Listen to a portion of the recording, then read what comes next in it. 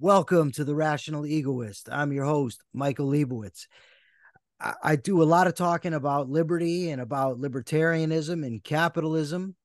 And today we're going to talk about the history of the libertarian movement. And here to help us do that is somebody well equipped. He's the founder and president of the Brownstone Institute. He's also the author of many books, including Liberty or Lockdown, and has written thousands of articles. Jeffrey Tucker, welcome to the program. That's good to be here. I think my camera is going to be following me around in some weird way. Let me see if I can shut that off. No, that's it. Okay. Yeah, we're good. Yeah. All right. Beautiful. So I guess a good place to start is I think of, or I guess to start would be what is a good definition of libertarianism or what used to be just liberalism? Well, what you just said is correct. Um, and hardly anybody understands that. But after the Second World War, a lot of the people who opposed uh, the New Deal and were concerned about the nationalization of the economy during World War II were trying to figure out how to find their get their bearings in the new ideological environment, which was a strange place. Um, uh, concerns over human liberty weren't even a, a thing, really everybody seemed to agree that central planning was a good thing. But um, they didn't like the term conservative which had been promoted by uh, russell kirk in 1954 in his book called the conservative mind. And i agree with that. I mean it's a weird book. Um, i mean it's an interesting book but it didn't really seem to have much of an intellectual uh, it didn't have an apparatus that would have allowed any kind of serious resistance to the encroachment of the state um, and then, of course, the word liberal itself seemed to be gone, uh, that it was taken by the New Dealers and before that, the progressives. So, uh, so they were looking for a new term. And the term libertarian had a little bit of a presence uh, at the turn of the century, but not much of one. But it really meant just sort of favoring freedom more than anything else. And so they said, well, why don't we just, since nobody's using that word, why don't we just use that term? And that became the the new uh, moniker for for what used to be uh, called liberalism, liberalismus. Um, and every language had a term called liberal, and it meant a free economy, of free people, free speech, free movement, and uh, free minds, and all that kind of stuff. So, so libertarianism is not a new ideology. It traces back um, it's it's an orientation, a, a, concern that says basically the purpose of politics is to promote and defend human liberty first uh, above all else. And that everything else flows from that. That's that's the idea of libertarianism. Of course it it, came to be a little more codified than that over the decades with the work of um, murray rothbard and that sort of thing um, and robert nozick and many other thinkers. But basically it was a is the new term for for liberalism is what libertarianism is. You said it has a long history. In my view I think that the first person to put forth sort of a systematic defense of what would come to be called libertarianism, I, I would say would be John Locke in his two treatises on government. Yeah, yeah, Is, yeah. You think that's accurate? Well, those are the those that the second treatise on government is the was the basis of the Declaration of Independence. So um, yeah, that was pretty darn early, and his main starting point was defending religious liberty. Um, for for everyone, excluding Catholics, by the way. but beyond that, uh, is for everybody. And and yeah, I, I I I don't think that's entirely inaccurate. I think that's pretty. I mean, John Locke had a major um, impact on on the world through the writings of Thomas Jefferson, for sure. Um, and yeah, yeah, it's not. I mean, there were people who wrote about liberty uh, long before, all the way back back to the ancient world. But in modern times, like yeah, John Locke is as good a choice as any. I agree with that. So he said that the essence or, or the purpose of government is to protect life, liberty, and property, mm-hmm.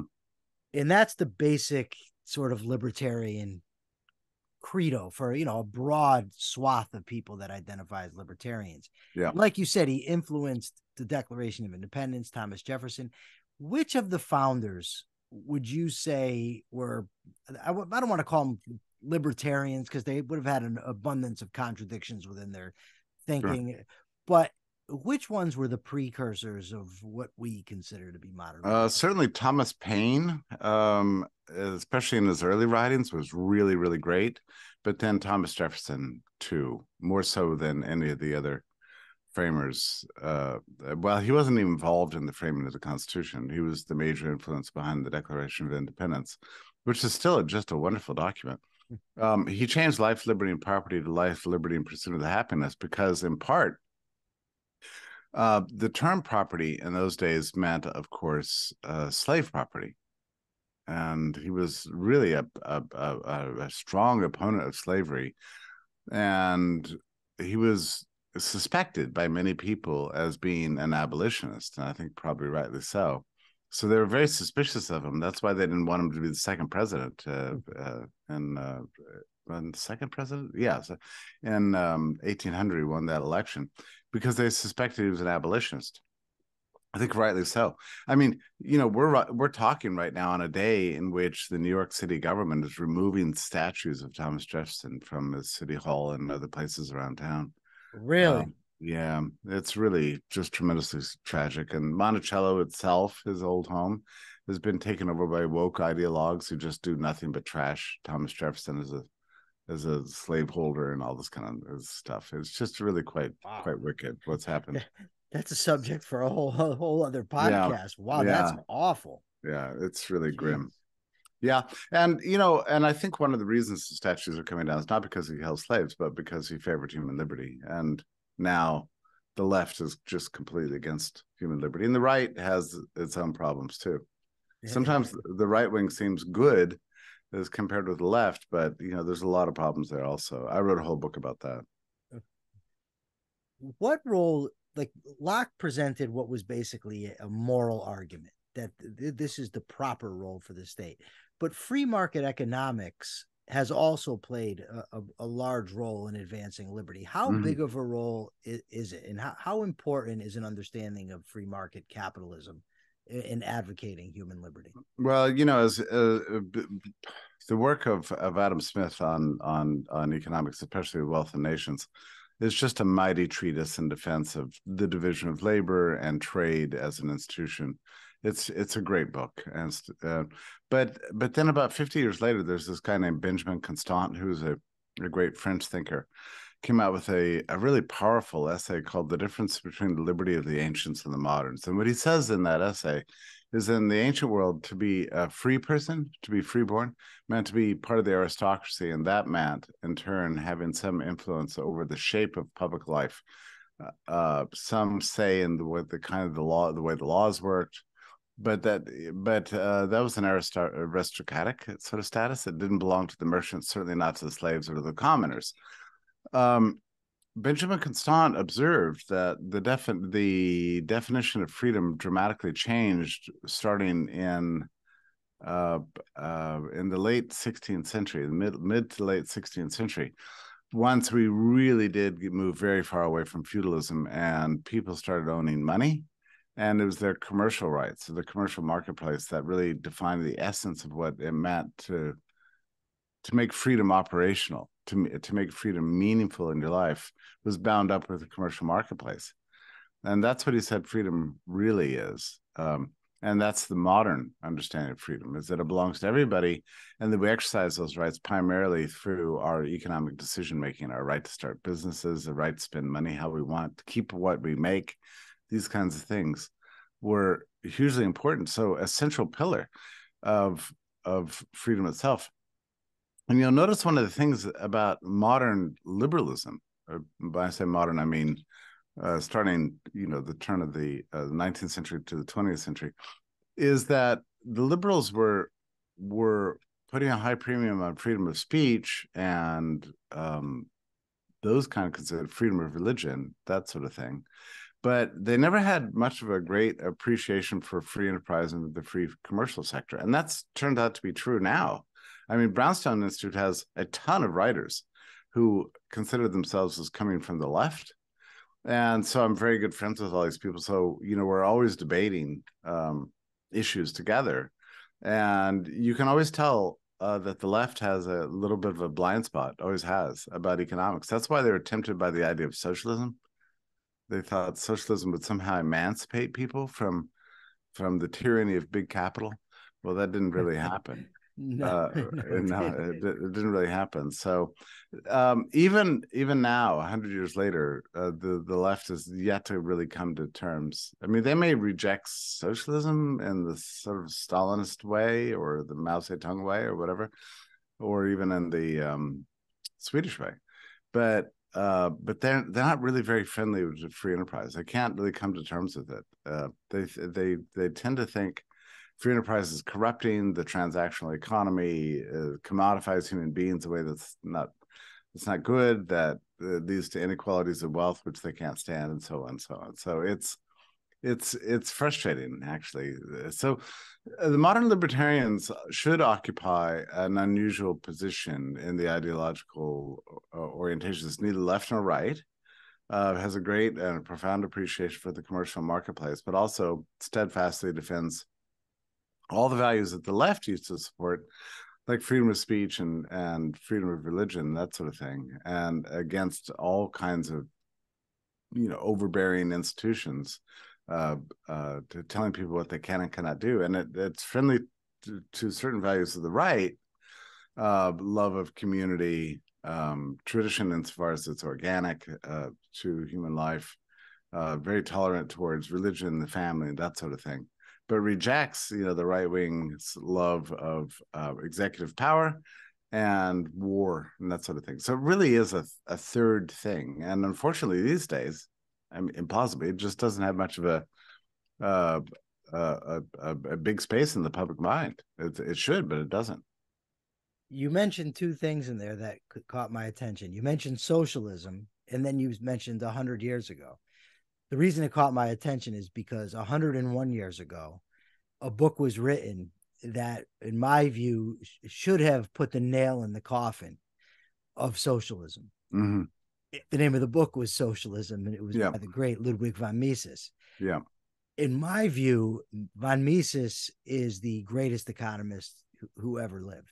Mm-hmm. I'm curious to know what, as an economist yourself, who do you think the greatest economist was? So I agree with what you just said. That's not to say he didn't have limitations, but uh, but overall, uh, Mises is my go-to on everything. That book you mentioned, Socialism 1922, is a masterpiece. Absolutely. And it's not just the chapter proving that socialism can't work, it's the attack on Christian socialism, it's the attack on uh, all sorts of things. Um, it's it's the the the ending section on destructionism um, as as the endpoint of of ideologies that are inconsistent with the structure of the society and and the nature of man, that sort of thing.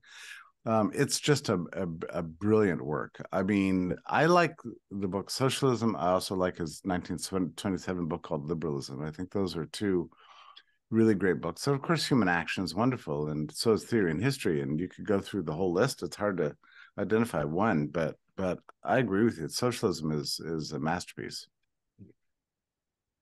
What was I going to ask you next? I forgot. Slipped my mind. Okay, 1943. 1943, three books came out by three women. They were oh. Ayn Rand, Isabel Paterson, yeah. and uh, what was her? What was the other one's name? Rose Wilder Lane. Yeah, Discovery of Freedom. Yeah, what was the impact on uh, on the liberty movement and on society? In uh, Just to be clear, uh, the Rand book would have been Fountainhead, right? It was the yes, the Fountainhead, right. the God of the Machine, and Discovery of Freedom. Yeah. Uh, so of the three books, I mean, Fatima Fatima has a wonderful book. It's it's a wonder. It's just a wonderful book, and it's and it's a celebration of man's creativity, you know, and the achievement uh, in making beautiful new things, and a, a great tribute to the ability of of of the human human beings to overcome all kinds of barriers in the way. So it's typical Ayn Rand uh, uh, piece. I, I, I, like Atlas. I think I guess a little bit better, um, and her other works, but still, it's a, it's a, very important work, and it also put her on the map and made her a bestseller. Um, Isabel Paterson is a very interesting thinker and writer. She was a hugely prominent person in, in New York literary circles. And her book, God of the Machine, is a weird book, except for the one chapter called uh, humanitarian with a guillotine, which is my favorite. Yeah, which is a chapter. It's about how when they when they come for you, they're always going to tell you they're doing you good, right? And and that humanitarianism can be, you know, deadly dangerous. And so it's a it's a really a brilliant book, and it applies to all sorts of things, you know, from woke ideology, the welfare state to to war. And it's, it's just great. And Ayn Rand learned a lot from Isabel Paterson, a ton and she didn't often credit her with that. In fact, they got into a huge argument uh, over the intellectual property of, of their ideas. And Ayn Rand's a big, you know, champion of intellectual property, and she thought that that Isabel was stealing from her, and Isabel thought Rand was stealing from her, which is all very sad. I mean, if you're getting together with friends, you're talking about ideas. You know, the idea is to is to share with each other, you know, and to learn from each other. That's good. What's wrong with that? That's fine. You don't have to figure out which idea belongs to whom. And actually, ideally, you combine your ideas to come up with something completely new. I mean, that's the whole point of conversation, one would think. But boy, did they come after each other. They were uh, they were funny, a funny bunch. And so that began a kind of a long uh, problem in the post-war uh, libertarian world of people failing to credit others for each other's ideas. And so so later, you know, many, many people learned a ton from Rand and didn't credit her. Uh, partially because, um, well, I mean, because she was always arguing with everybody, and so you know, so like my my uh, my own teacher, Murray Rothbard, uh, was you know two thirds of his brain, if not more, maybe four fifths of his brain was was uh, taught by Rand on a whole series of areas, but he stopped even citing her really because because he was. This so is against. breaking news. I mean, Yeah. it's not breaking news that that's the case, but the fact that I've got Jeffrey Tucker on my podcast and just said that, that is huge. Well, but it's just true. It's I mean, the truth. Yeah, I- he couldn't I- bring himself to. It's a psychological thing. I'm just like, if you know, um, if you just if if you're part of a group that's hugely influential over you, and then they kick you out, you know, because you deviated on one particular point, you're going to feel a sense of bitterness, and and every time you come it comes down to an opportunity to cite, you know, the the the the the, the rabbi is in the shoal um, you're going to be very reluctant to do it just because you can't you can't it's, it's like it's, it's there's a frog stuck in your throat you know and that's why murray always treated rand um, which is kind of tragic um, uh, and i but you know whatever. Murray learned a ton from rand there's no question about it. I mean all the all the basics he learned from her. Yeah. and uh he wrote her a letter and said he had never heard of it's implausibly he'd never heard of the idea of natural law before rand started talking Yeah. about and natural rights. So you know there's that. And uh he learned a lot from her spirit you know and and her indefatigable ways. And yeah he was he was a he was a big i would say it was a, like a break off of the rand group there were many break offs of the rand group of course Sure. Murray went on to do great things himself, but you know, we all we all build on somebody else. I mean, so much of my own thinking has been so heavily informed by by Mises and by by Murray. Murray's Murray's spirit of life was just beautiful, and I I learned a lot from it. Um, and Mises inspires me all the time. So you know, we and Hayek, you know, does too. So you know, we all learn from other people. There's nothing wrong with with citing them or crediting them. I'd, I'd, I'd like to get to the point where we can be a little more generous and, and kind towards each other and admit who our influences are. that would be great. I, I, I myself, I overwhelmingly influenced by Rand. As probably Uh-huh. could tell by the title of the show, The Rational Yeah. Egoist. But economics is Mises all the way down. Um, Well, but Rand said the same thing. I mean, she always deferred to, to Mises on, on Yeah. economics. Yeah, Yeah. and and I, but- and I think. I I disagree with my disagreements with Rothbard are almost all political stuff. His Mm-hmm. as an economist, Mhm. Man, economy, and state next to human action is probably, in my view, the best economics book I've ever read. Mhm. I, I found I found Rothbard to be absolute wizard when, when it came to explaining uh, Yeah. economic concepts. Now, all these thinkers, uh, you know, they're coming together in the you know 40s, 50s, 60s, and there was also an organization. I don't know the exact year it was started, the Foundation for Economic Education, Yeah. Leonard Leonard Read's baby. What Yeah. role or, or how influential was that? That's the first libertarian think tank, right? Am I wrong about that? Was there one that preceded it? Well, um, there is the American Institute for Economic Research was founded in 1933, but not so much as a think tank, but more of as an investment advisory. So, but FEE was set up to be a think tank. It it isn't anymore, but it was, and um, that was 1946. So that was uh, three years after Rose Wilder Lane, which we didn't mention anything about Rose Wilder Lane. No, no, we didn't. Yeah, just to back up slightly, The Discovery of Freedom yeah. is a great book. I mean, of the three books, that's the one that's most overtly libertarian. Yeah, it's just a, a wonderful book. Discovery of Freedom. I love that book. When I first read it, I thought it was a little bit childish, and then years later, I reread it. I thought, no, this is a serious, this is a serious masterwork. She was the daughter of, of uh, Laura Ingalls Wilder, um, and a very important person in New York literary circles herself. She was very close to Garet Garrett, who was a novelist of the 1920s, and rumor is that they they were lovers, which is funny. Um, but uh, yeah, she's she's a really a profound thinker and a, and a, great writer in her in her own way. It's too bad she's kind of been forgotten. But in 1944, there were two, three really important books that came out. Uh, one was Mises's Omnipotent Government. The other was John T. Flynn's As We Go Marching. Great attack on the uh, New Deal and the warfare state, just fantastic. And then uh, Hayek's own book called Road to Serfdom. Those oh, all three. What a great book! yeah, yeah. The all three came out in 1944. Uh, of the three, I don't know. They're all three masterworks, really. But FEE was started two years later, uh, in part to be a home for these for these ideas. So you look at Rand, Lane, uh, Paterson, uh, Mises, Flynn, and Hayek. You know, you can see the growth of something big and something important. I mean, Hayek's book was a bestseller. Um, Mises's book was not, but John T. Flynn was a really important figure in intellectual life. Rand's book was a bestseller. So there seemed to be something gathering. And so Leonard Read started the Foundation for Economic Education, and, and it was a serious place. And uh, one of his first actions was to, um, three years later, he bought up the first print run of Mises's book, Human Action, which was translated out of the German, which had been published in 1940, which he had been writing since 1934. And uh, FEE, Foundation for Economic Education, bought up the first print run and distributed them themselves. In fact, that's the only reason the book was published was because of FEE. So they had a really huge impact. And then it was um, it was one of their early monographs against price controls that Murray read, Murray Rothbard read when he was in graduate school, and it got him into free market economics, and, um, and that led him to Rand and so on.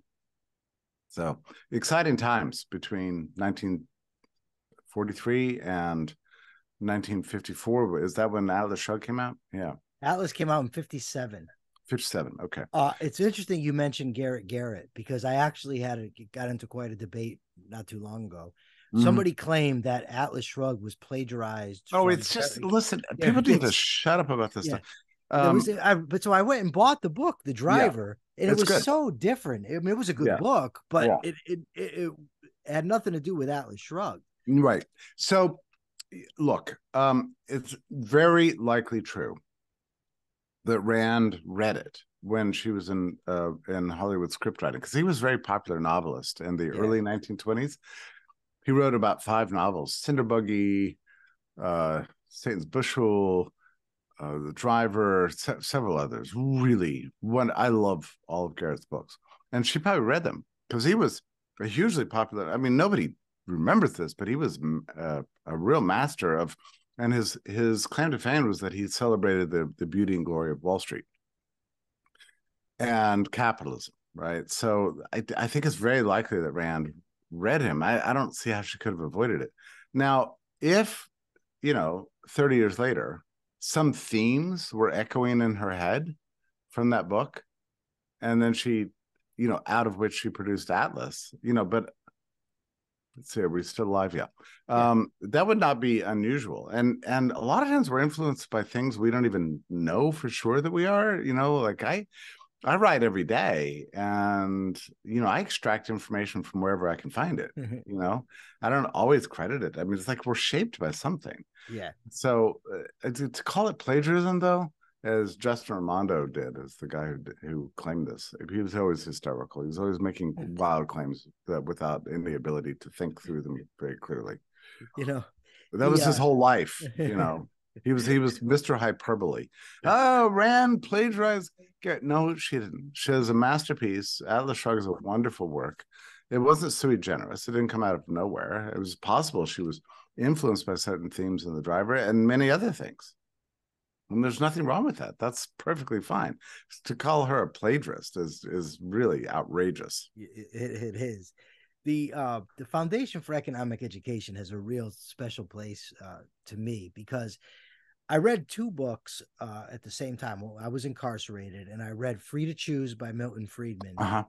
and that sparked my love for economics that I've had Yeah. ever since. And I also read a book, uh, Frederick Bastiat's The Law.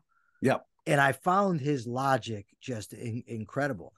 But on the back of the book was an address for this place I'd never heard of called the Foundation for Economic Education. Yeah. So I wrote to them and I said, listen, uh, I'm incarcerated. I like to read. Uh, Can you send me any materials that you have or information about your organization? and they sent me a one year free subscription to their magazine, uh, Ideas Nice. on Liberty. And I just devoured it. I loved it. But in there, there was a, a, a address for laissez faire books. Yep. So I wrote to them and I got their catalog and they had a package. It was called the All Liberty package or something. And it had human action, Atlas Shrugged, economics in one lesson, I think discovery of freedom, and some maybe something else. And I and I ordered it and uh, uh, just completely revolutionized my thinking on, on That's these cool. subjects. So the fee has a, a great place for me. That's And, beautiful. Uh, you know, after that, after you know, I started to call myself a libertarian, which I continued to do up until maybe three weeks ago. I, I've stopped that because not because my ideas have changed or my views have changed, Yeah. but there's just too wide of a net for me now Yeah. that the word libertarian, uh, you know, captures that there's just too many views that I, I can't, or too many people rather that call themselves. Well, we use words because they clarify, not confuse. Yes, and that's what Uh, I find and is and happening now. and yeah, now it's just nothing but a confusion. So I understand. I understand what you're saying. You know, I I I, I agree. I don't. I don't use the term myself, um, not because it doesn't pertain, but because it's just it makes everybody crazy. Like, wait, what Yeah. that? You know. yeah. So, So speaking of the, word libertarian, the Libertarian Party, what what they ran their first president uh, candidate in what seventy two? Yeah. Hosper seventy two.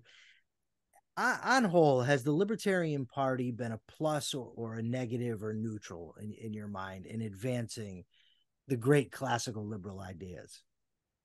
Well, the Libertarian Party probably has done some good over the years, but uh, it's never met up to its potential. Partially, that is because uh, we live in a uh, in a, a, a, a- in a in, a in a system where the government consists of of whoever wins the election wins the election. It's it's a first past the post, winner take all system, and Duverger's law of politics says that that will always default back to uh, to to two parties, which which is to say the people vote strategically when they go to the election when they go to vote they vote against the person that they hate the most and for the person they think most likely to beat the person they hate the most. That's how people vote.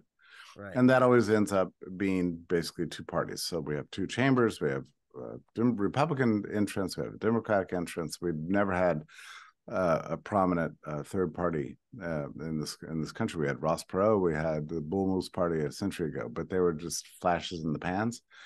So this is a, the problem that libertarians have always faced. So th- that's a problem of of game theory, of election theory, and they're never going to be able to overcome that. And once I realized that, I realized, oh, the libertarians are going to be basically an educational organization. So this is the problem that's always affected the Libertarian Party. They don't know whether they're trying to win elections or if they're trying to influence uh, public life, and they still can't figure this out and since I've been watching the party, it's it's it always goes back and forth between two types, the ideologues and the managers, and it's the same thing all the time. The managers take over and run, you know, tip top. You know, uh, they raise a lot of money, they get on all the ballots, they run a really clean organization, and they become really professionalized and very impressive and, then the ideologues get upset because they come to notice that libertarians are selling out. They're not taking hardcore positions on this thing or that thing because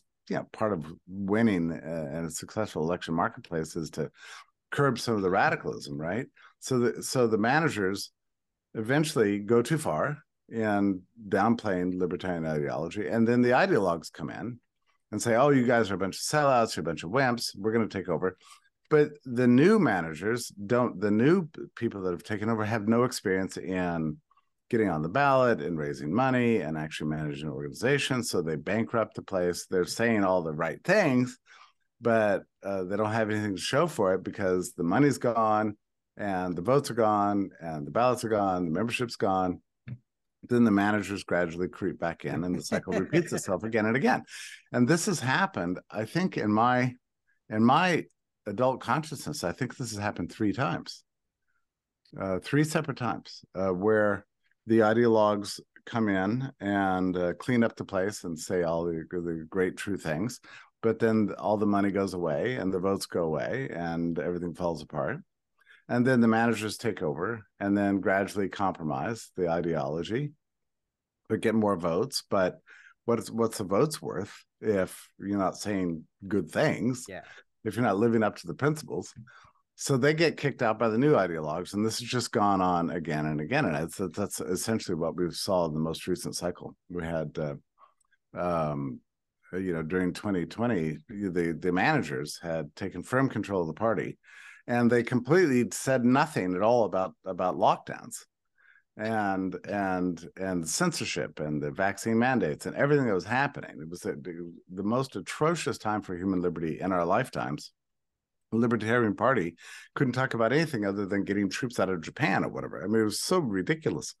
So of course that made it ripe for a takeover by the the, the uh, what some some some um, really naive and novice oriented uh, people that called themselves the Mises Caucus, and they were rabble rousing and you know rightly so, and really leaned in and focused, and they ended up kicking out all the existing people. But now, of course, with the Mises Caucus in control, the Mises Caucus itself has fallen apart, and the money's gone, and they can't get on the ballot, and the whole place is in sort of in a managerial shambles. But this is just typical; it just ha- keeps happening like this. And now the managers, after the next election cycle, where they um, get one percent of the vote or less, uh, and the money's all gone. And most of the Mises Caucus guys have already lost interest. They're sort of moved on with their lives, um, leaving the place a shell of its former self. And so the managers will gradually creep back in. You know, the Nick Sarwarks will be the new new uh, big big shots for the Libertarian Party, and they're going to raise all the money and get all the get the party on the ballot. And then the next war or the next lockdowns will come. They won't say anything about it because they don't want to disrupt their great management strategy, of course and that's going to make another round of people very angry and they're going to take it because it's going to be nonstop like this it just never stops i've uh, been criticizing the mises caucus lately myself and the, the, the, a few reasons one is they take the name mises for their mm-hmm. caucus mm-hmm. when in mm-hmm. reality mm-hmm. they're the rothbard caucus they're far more influenced by Rothbard than they ever are by Mises. Well, I would say even Hoppe. And Hoppe, yeah, yeah, Rothbard and Hoppe, yeah. Yeah. The other day, I got into it with some guys because I posted a quote from Mises where he said he criticized the anarchism. He, mm-hmm. he said that the classical liberal is not an anarchist. I didn't, but my point wasn't, I'm not an anarchist, but my point wasn't Mises was right in his statement. My right. point was Mises was not an anarchist. Right. And I got pushback, uh, but he was close to an anarchist. But you, you know, you're guilty of presentism because when Mises wrote that, there wasn't yet anarcho capitalism. And I looked, I didn't have it with me at the time. It was at my old house, but I went and got it. In 1922, in Socialism, Mises writes, anarchists are neither socialists nor liberals. Because the claim that I was getting from the, the Mises caucus people is that when Mises was criticizing anarchism, it was only socialist anarchism. But I found the quote that said that clearly wasn't the case. So I find them to be dishonest with that claim. Then there's this that I find that this there's two things that pushed me over the edge with them. One was the Alabama Mises caucus posted a photograph. Do you remember when the Unabomber was wanted and they didn't know who he was yet? And they would put up the picture of the guy with the sunglasses in the hood. The, the, the Alabama Mises Caucus puts that on Facebook with a quote from Ted Kaczynski. And then it says, RIP Uncle Ted. And I just thought that was so reprehensible. This is a mass murderer we're talking about. So at the time, I was the spokesperson for the Libertarian Party of Connecticut.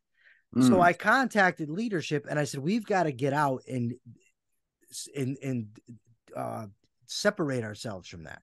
We've got to say that this in no way represents us because we're a libertarian party, they're a libertarian party, and I couldn't get the leadership to go along with that. They wouldn't criticize that, and I'm so I that from there I stepped away from the party. And the next thing was the anti-Israel.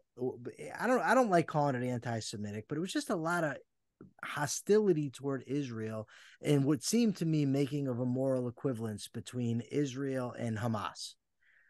And I went on to the Twitter page of the Mises Caucus, and it's dominated not by quotes from von Mises, not with arguments for Austrian economics, not with arguments for individual rights, but with stuff about how horrible Israel is. Mm. And I'm just, and so I just said, I, am done. I, am not calling myself a libertarian anymore. I don't want to be associated with that. Mm. But I have a question uh, uh, for you because you're here. So, uh, somebody from the Mises Caucus said to me, What is it that you disagree position wise with the Mises Caucus? And I said, Anarchism. That's the first thing. Second thing is secession. I said their stance on immigration, which they're they're following Hoppe. From what I could tell, they're anti-immigration, and the Israel stuff. And the guy said I was totally misrepresenting them in paleo libertarianism, and the guy said I was completely misrepresenting their views. And I showed him well in their platform, the Mises Caucus says they're for secession down to the individual. They say that national security apparatus should be privatized as much as possible. And then they say, and just because something's not in here doesn't mean that, that we don't stand for it. So, am I misrepresenting them? Am I misunderstanding something? Well, I don't know. You know, because there's a, a there's a huge there's huge diversity of views probably within the Mises Caucus itself. Some some good guys and some some less less educated people um and so it's hard to say i mean I, the very founding of that thing i was sent the uh, the founding document it was just filled with gibberish you know like um we, you know we believe in the, the praxeology is the foundation of natural rights so this kind of stuff and it's, it's like you don't even know what these words mean obviously not you're, you're that, if that's around, what you're saying you're throwing around a bunch of random you know uh terms it's like pseudo intellectualism you know so and, yes. and so i kind of jumped on it and just like Maybe just call yourself somebody else, like the uh, the shit poster meme caucus. You know, shit posting meme caucus. That would have been a good one. The the edge yeah. lord, the edge lord caucus. You know, you come up with something else. You know, with the the edge lords, because you know the whole these guys were all their their whole ideological orientation came out of the 2015 2016 meme wars. Uh, that was that's what that's what shaped them you know and that was you know with pepe the frog and you know the helicopters and you know the whole bit and it was fun it was fun but it's childish it's just silly uh childish at best i'm fascist at worst um yeah so, the, guy that they've endorsed um is a guy named mike rectenwald michael uh-huh. uh-huh. this guy uh, he was a marxist until 2016 oh and okay. he stopped being a marxist not because he found out that the labor theory of value was garbage or that wage slavery was an inaccurate description or because he suddenly came to disagree with Marx about profit or or, or you know the uh, proletarian or the the history the dialectical materialism it was because his fellow marxists turned on him over issues to do with social justice with, mm. with uh, uh, wokeism and that sort of thing subsequently he claims to have read Mises. Um, in a debate that I had with him, he was on my podcast. He actually said that um, the Austrians are all deductive. they, they're they're not based on empiricism. And I said, well, that's flat wrong when it comes to Rothbard. Rothbard, I can show you the quote where he said the action axiom is grounded squarely in empirical reality, because mm. Rothbard, of course, was an Aristotelian.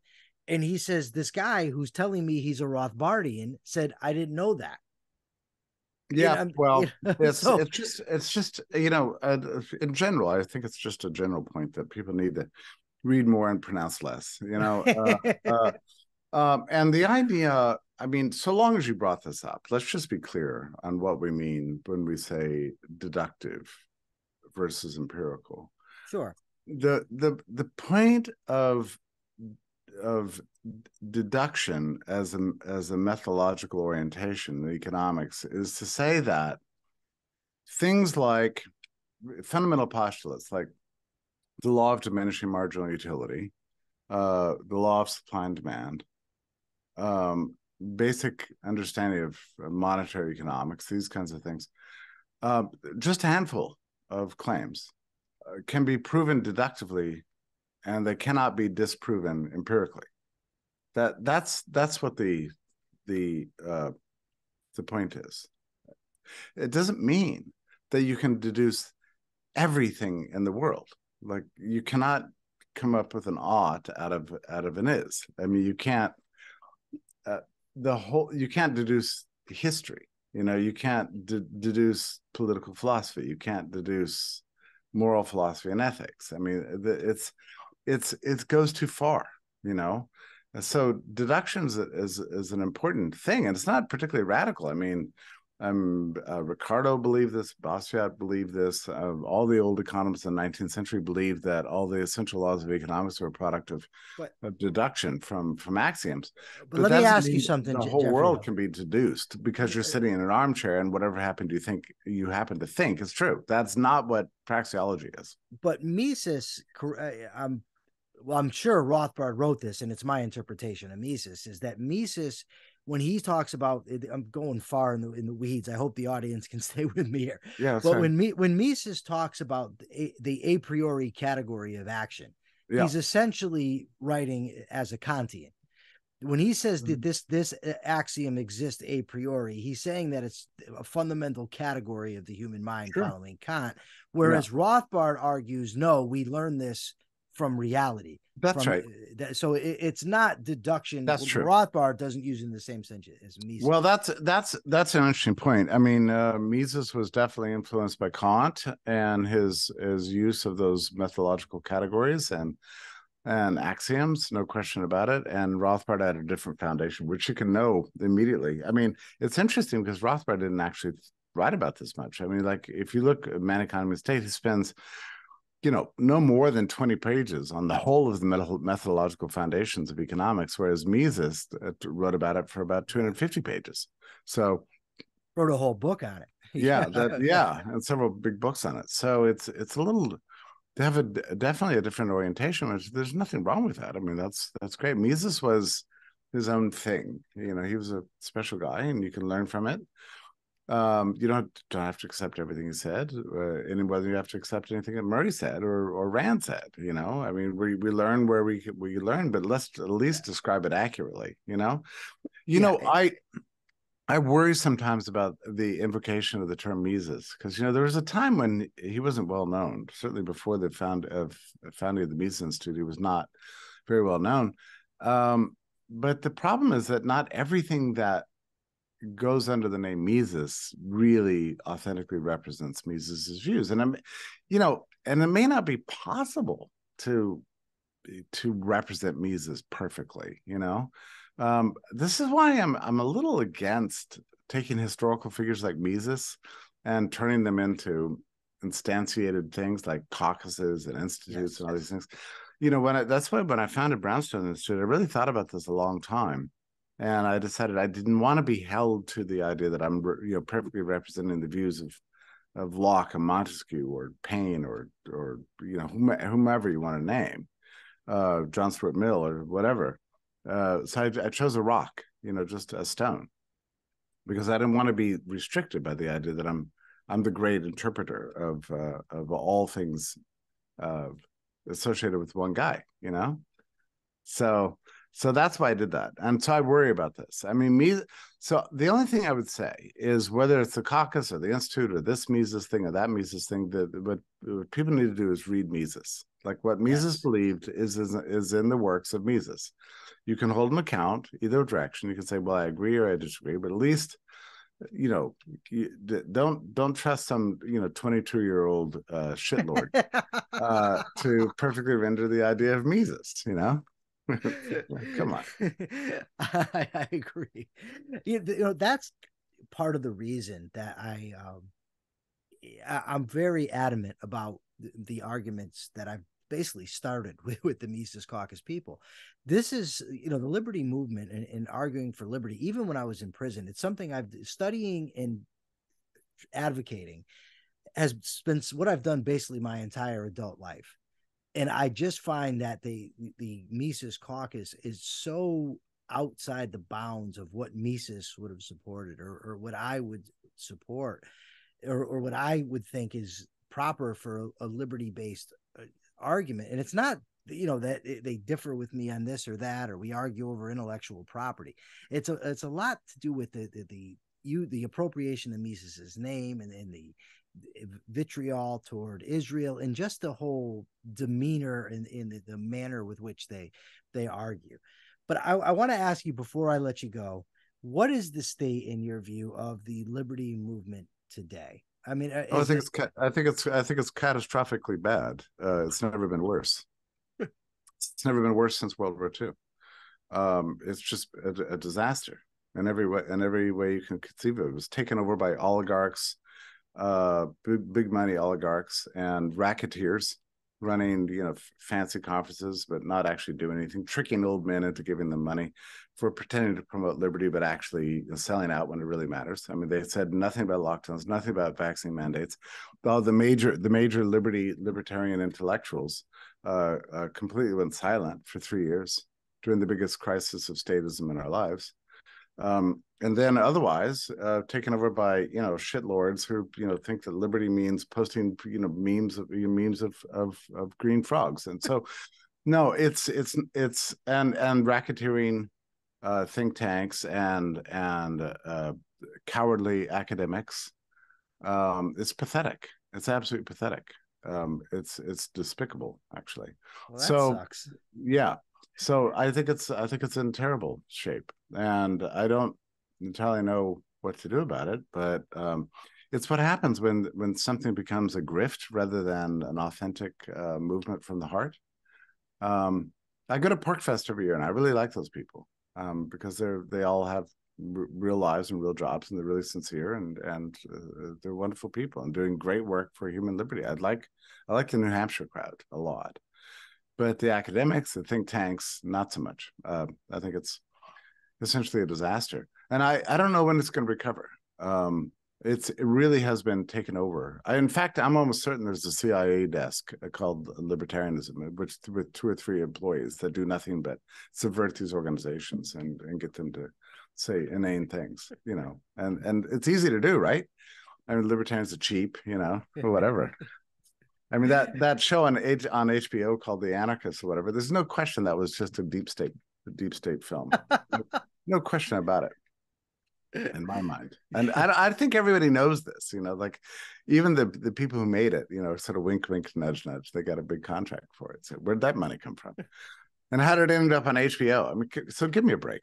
Um, so it's not it's not authentic. Um, but anyway, you know, Mises said in his 1927 book called Liberalism, right at the very end, it's something that's haunted me ever since I read it he said, um, "You'll always recognize true liber- liberalism," by which he meant libertarianism or liberty in general, um, not because they have uh, music and uniforms and flags and marches and rallies and have big slogans and bumper stickers and memes. He doesn't say memes, but you know what I mean. He said none of that is liberalism. Liberalism is not a cult. It's not a religion. It's not a mass movement of uh, people fired up in some to rally behind some politician. Liberalism is good ideas. It's rational ideas. We have to have the good arguments. We can state them plainly and calmly. He said, when you find that movement, that is genuine liberalism. So I've always thought about this. This was 1927. This is even before the Nazis, right? Um, but he knew what was what, and uh, we've got a lot of a lot of fake forms of libertarianism out there today, and um, I don't think there's any future for these people. In fact, their fundraising is drying up because everybody knows they're lying. They're not really for liberty; they're for something else, and and so their fundraising is drying up. So I'm ex- expecting we're going to go through it like a 10 year recession. But here's the thing for your listeners and for you and for me: uh, it doesn't matter. You know what matters is what we put in our head and the ideas we hold in our heart. That's that's what matters. If it does good for you then that's good enough. So that's that's, that's where we are as a movement. that's awesome. Yeah. All right you mentioned the brownstone institute jeffrey. Where yeah. else can people find you? Uh, well, I write every day for Epoch Times, actually, and they run me, and they, they have a physical newspaper, the fourth largest in the world um, and they run me almost every week. So oh, okay. I'm very happy about that. And I write for Brown Brownstone. I think I have an article coming out, maybe now, maybe tomorrow morning. Uh, I've written some 300 articles for Brownstone, but it, it's become a real institution, a real refuge for people. We give away a lot of fellowships to scientists and others who are been canceled by the dominant culture and so I, I feel like I feel like it's it's going very very well. I'm I'm actually, despite what I said, I'm actually optimistic about the future of human liberty itself, not just not the movement aspects of things. That's that's what troubles me. Awesome, Jeffrey. Thank you so much for taking your time to, to be here with us. I, well, you really took your time, and I appreciate it so much. thank you. Okay, all and the best. now, this is the Rational Egoist signing out. I'm Michael Leibowitz. Till next time.